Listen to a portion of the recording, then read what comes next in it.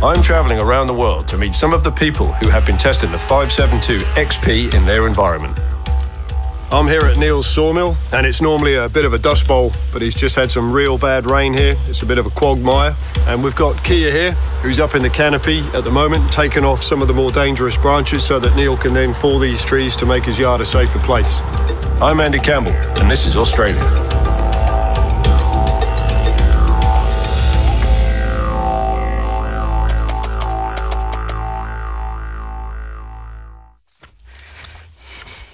So today we've come to, to Neil's sawmill.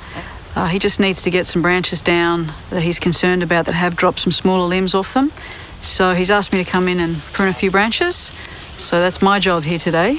Uh, but he's also going to fell this tree shortly. So uh, we'll get that on the deck and hopefully make the site a bit safer all round. My name is Kia.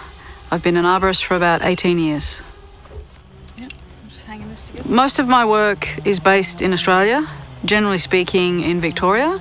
Wonderful trees, quite a, a, a, broad range deciduous evergreen trees, small, large trees, pruning, removals. It's very interesting work, keeps me busy, and I've enjoyed every year.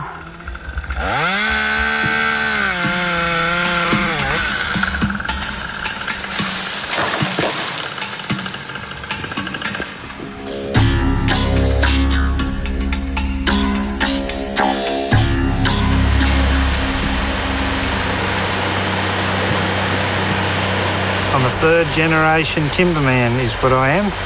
My father and his father before him were sawmillers. I'm actually a forest worker turned sawmiller, so I'm a little bit of both. Being self-employed is the best thing in my job, and uh, it's taught me a lot as far as self-discipline and um, things that you have to do to make it work. The chainsaw we use for cutting logs off, for docking, um, for occasional log falling, it has to be reliable, it has to be up to the job, and um, most of all, it's got to keep working when we want it to work. We've had a lot of success with the Husqvarna product over the years, and um, I'm very happy with it.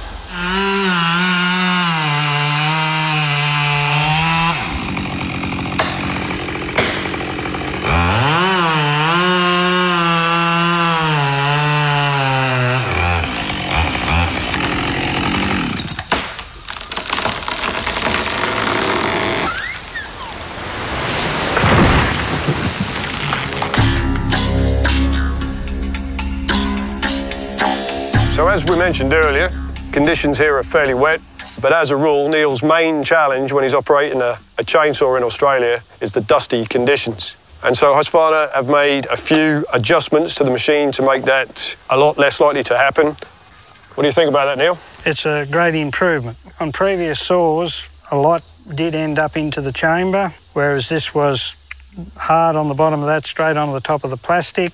It, it did bypass some. Usually we wash the filter out in normal chainsaw mix petrol, um, let it dry or blow it out with some air.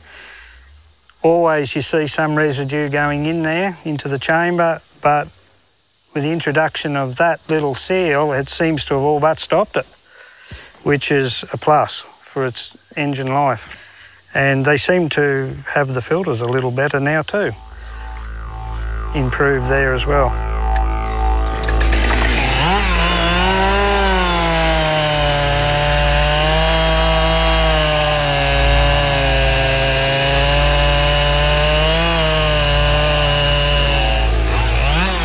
Although Hot and Dusty turned out to be hot and muddy, Neil seems to be satisfied how the 572 XP performed in these conditions.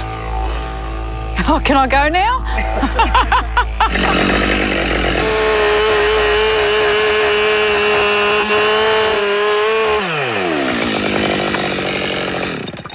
So that was the first time that you've used the saw really there, Kia. Yes. So uh, first impressions? A lot of power straight off the bat, which was great. Um, nice handling. Feels very well balanced, um, which is great. Uh, doesn't feel as heavy as I thought it would. It just sits with the body. The ergonomics are great.